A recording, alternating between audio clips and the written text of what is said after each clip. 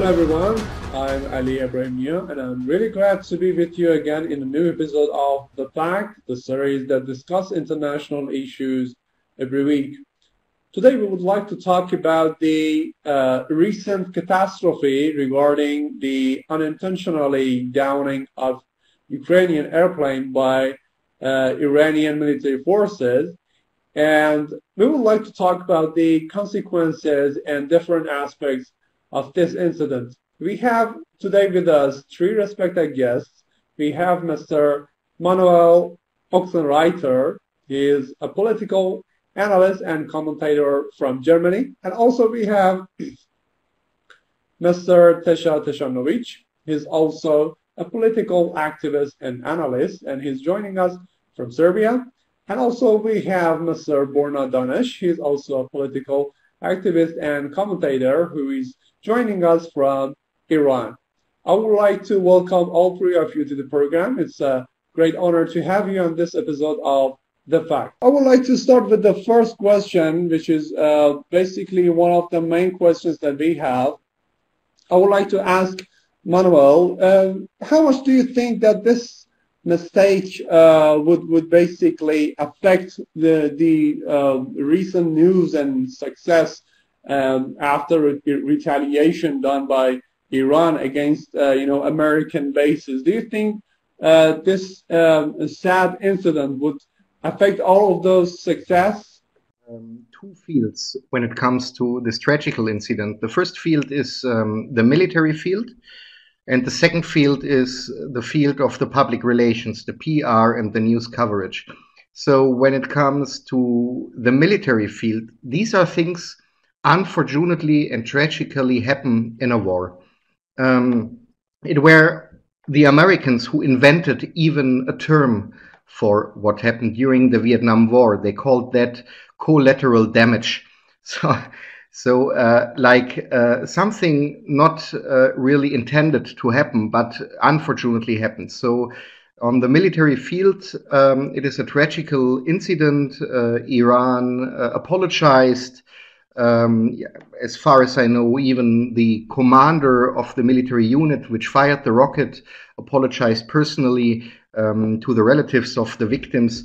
So that is what happened in the military field.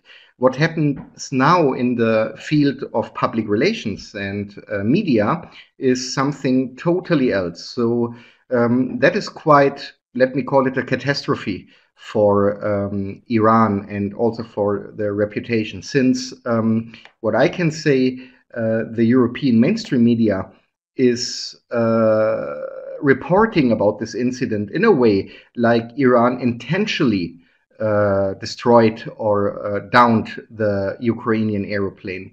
And that is something really serious.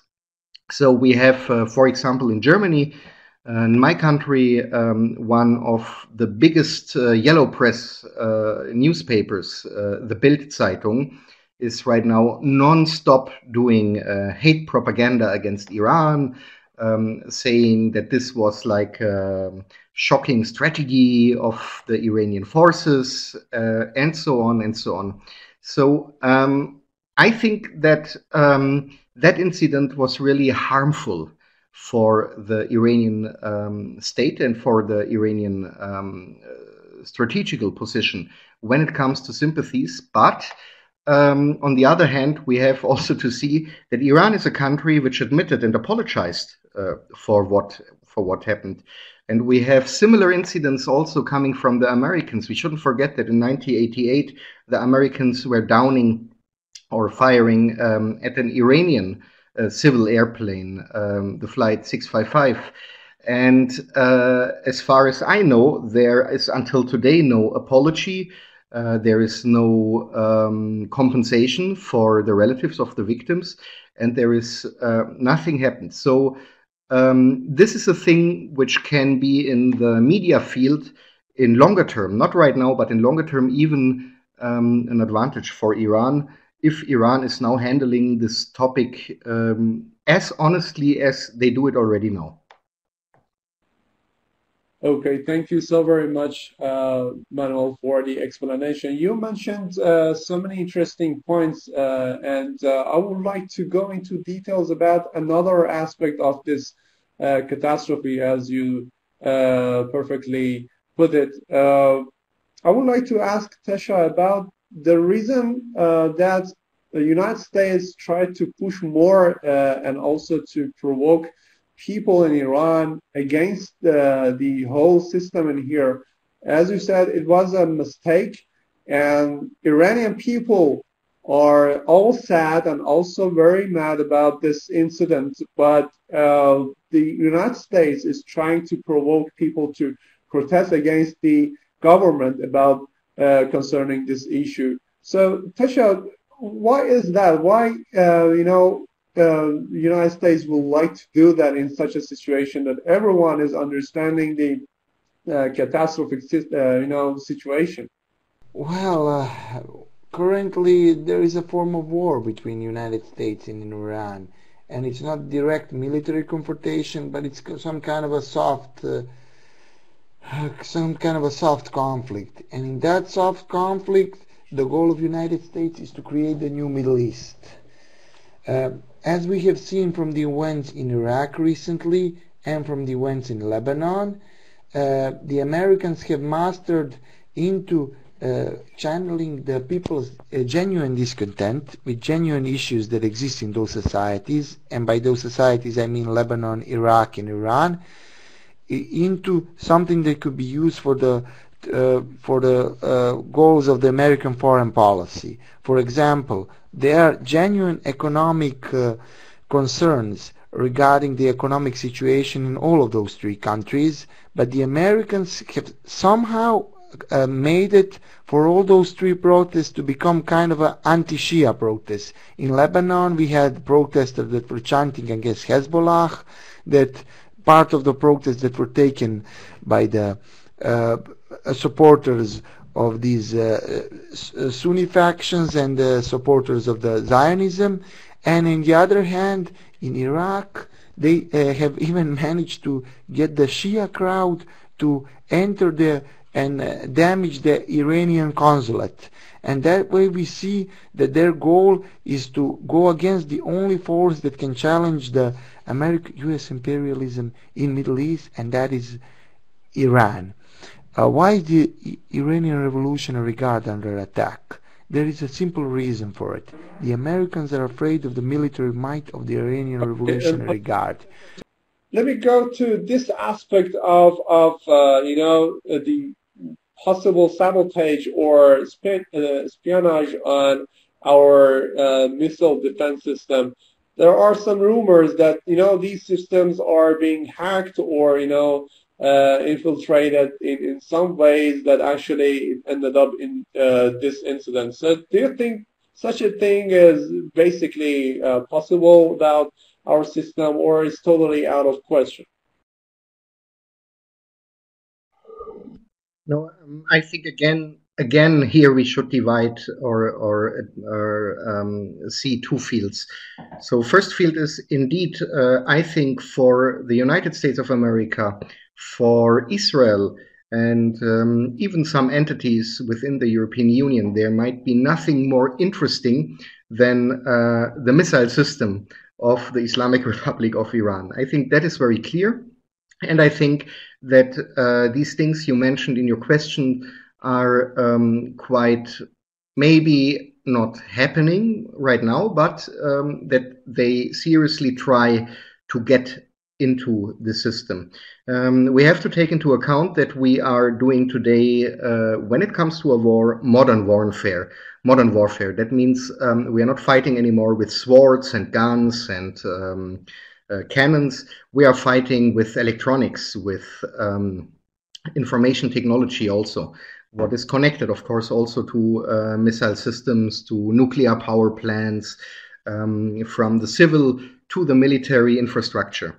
Um, that is quite possible, and that is um, the nature of intelligence, of intelligence service, to go into each other's uh, information systems.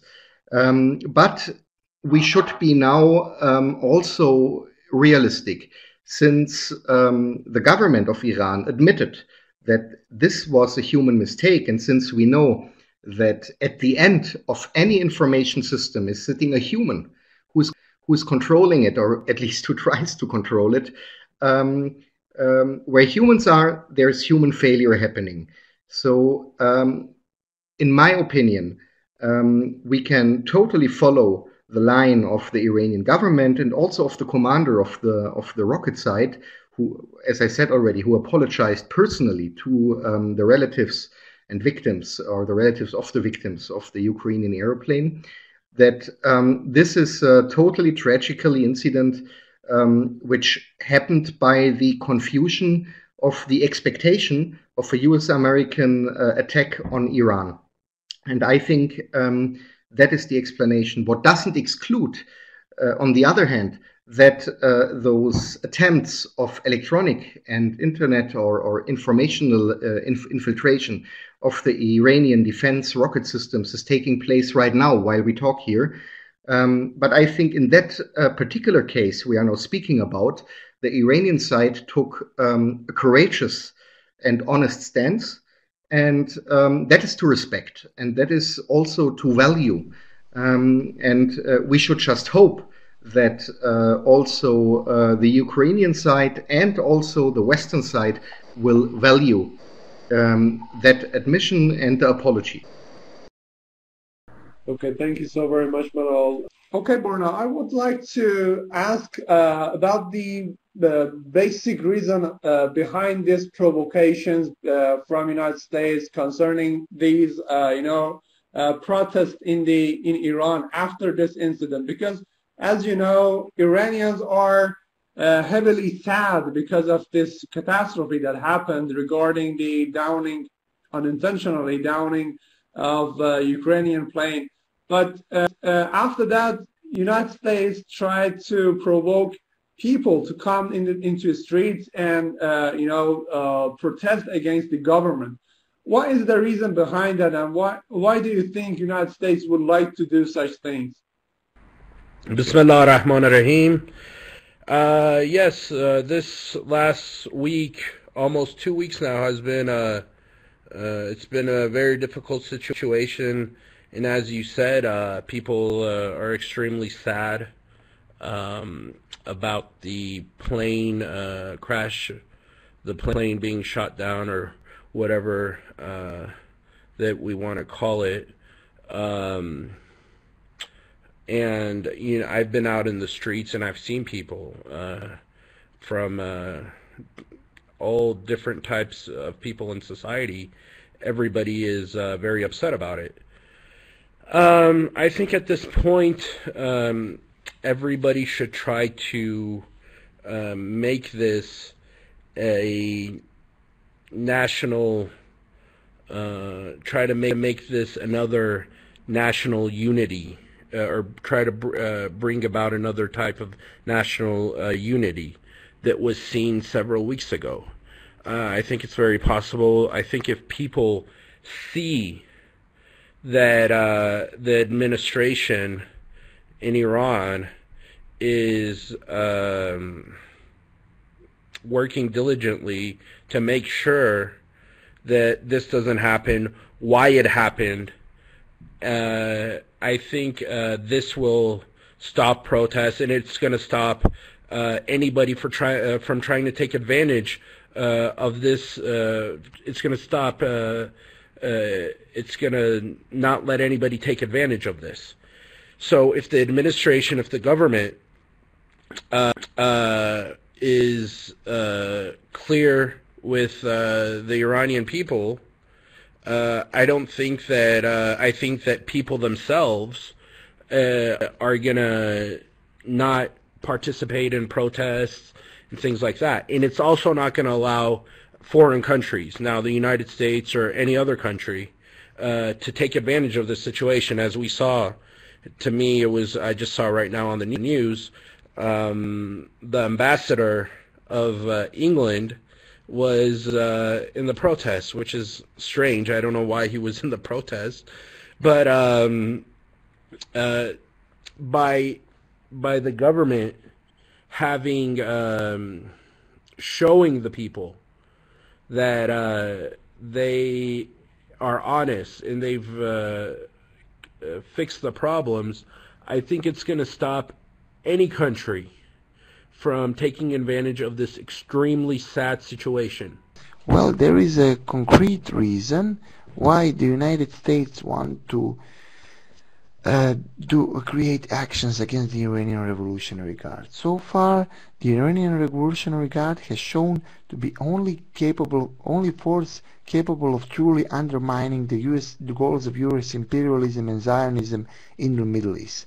Because ever since the uh, uh Islamic Revolution, uh, the Iranian Revolutionary Guard has developed means of asymmetric warfare created in order to fight with the greater threat the Americans rep represent. What we have seen from the from the lesson of protests in Lebanon and in Iraq can be also implemented in Iran. Uh, what happened is that the United States have used the genuine protests of the people of Lebanon and Iraq because of the genuine concerns and issues such as economic issue and corruption that exist in those societies in order to uh, uh, in order to help their own geopolitical goals. Uh, for example, in Lebanon, in beginning it was a protest against corruption and against the system that exists in those countries.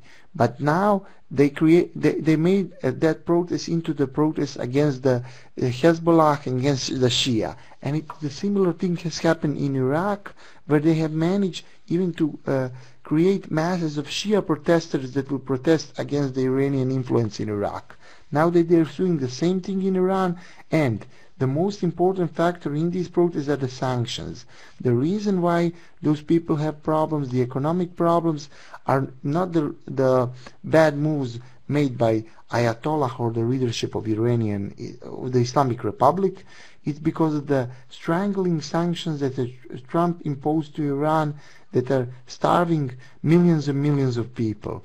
And those people, they are blinded and their anger is directed towards the Iranian Revolutionary Guard. The main issue here is about Israel. The Iranian Revolutionary Guard is a direct threat towards Israel and it's a direct threat towards Zionist interests. And those protesters that are attacking the uh, posters of Soleimani that are uh, removing them from the Iranian streets, they are directly working for the Zionist interest. And it's almost as if they were uh, hired by the IDF to do so.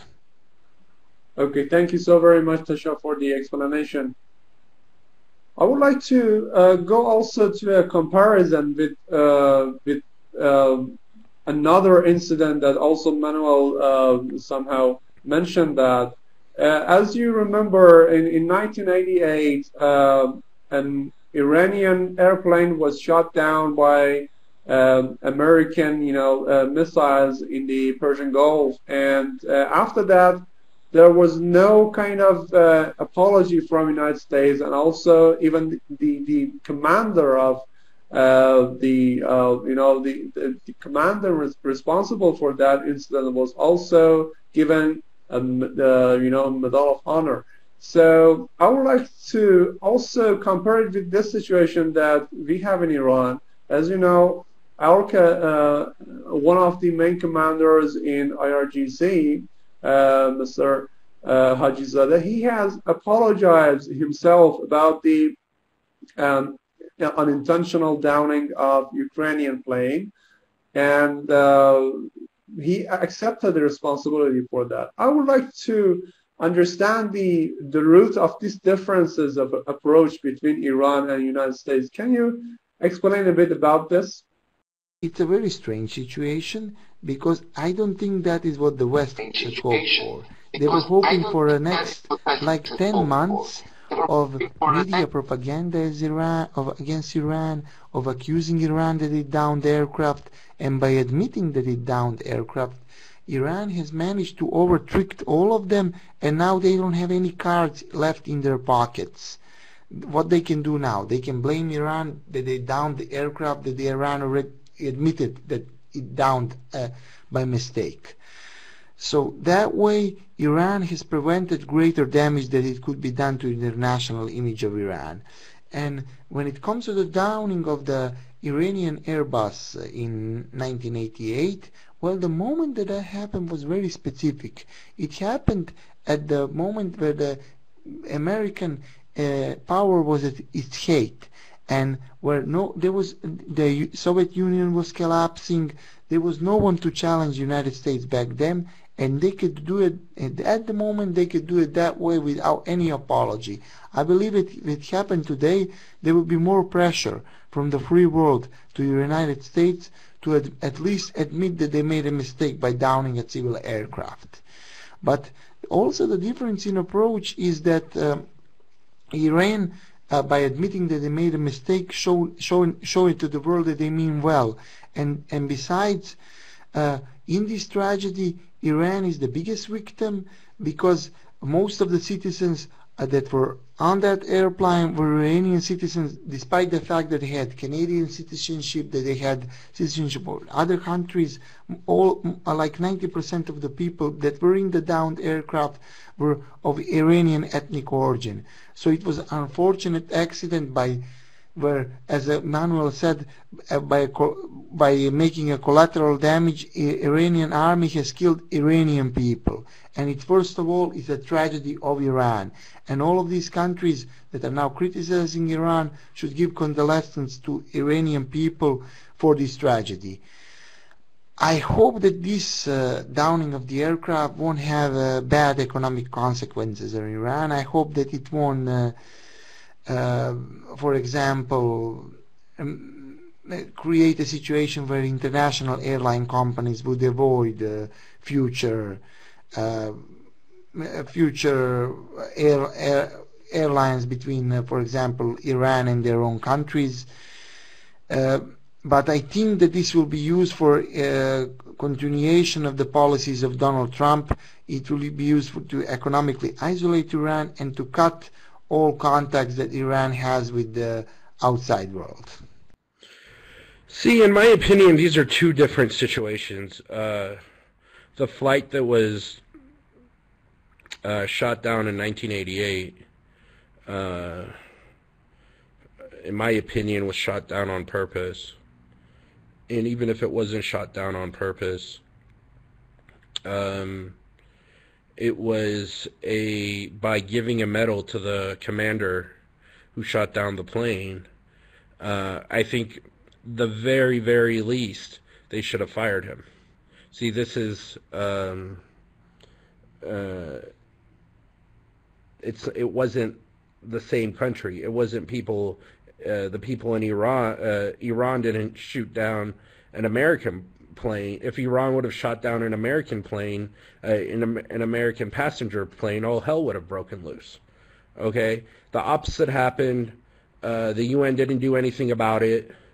And as you said in your question, not only that, they gave them the commander uh, of the American forces. They gave him a uh, Medal of Honor and uh, God knows what else. For all we know, they might have even given him a promotion. Um, but what happened here, uh, in my opinion, is two different situations. Uh, it's extremely difficult to try to compare. Um, I think the root the root problem is that the foreign policy of the United States wants um, to control uh, all the countries in the world. It has not not necessarily now some of it some of the reasons might have to do with Iran having uh, natural resources, but I even think if Iran didn't have natural resources, they would still want to uh, c- control the country, just as like as they do in uh, other parts of the world. Um, so, um, so um, I think that the root of uh, what happened in 1988 goes back to the hegemonic ways of the United States government and uh, it's it's at least two three hundred years old, where uh, the uh, countries like the United States want to control the United States government um, does not have a equal relationship with um, countries in the Middle East or countries in Africa.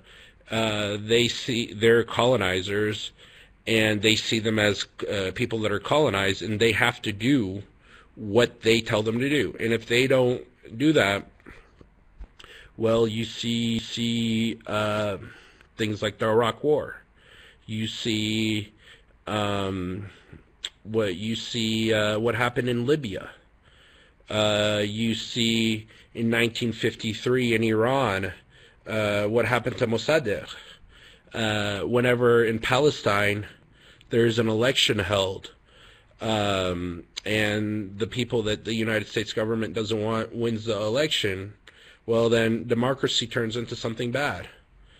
Um, in 2009, when uh, all the polls in Iran had uh, President Ahmadinejad winning, and he won in a democratic elections with candidates uh, who um, were from all four candidates. Uh, uh, the, all four candidates were uh, so each all the different groups in Iran and outside of Iran had candidates in this election, but they lost the election. And after they lost the election, well, you saw what happened. The people, uh, your uh, your audience sees what happens. Where for a couple months, the Western media was uh, uh was trying to encourage uh, different uh, events in the country and this is, I mean, this has happened all throughout Africa. Uh, unfortunately,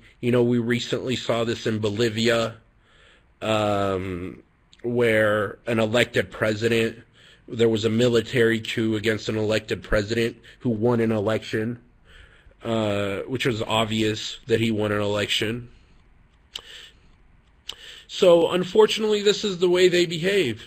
I mean, there's uh, nothing uh, we okay, could say other than that. Thank you so very that. much, Borna, for your time, and uh, I hope uh, I can have you again on this uh, program next episode. Okay, we have come to the end of this episode of The Fact. Uh, I would like to thank all three of you for your participation and also your contributions to this subject today. Uh, I hope that we can have you again on this program on next episode, and goodbye.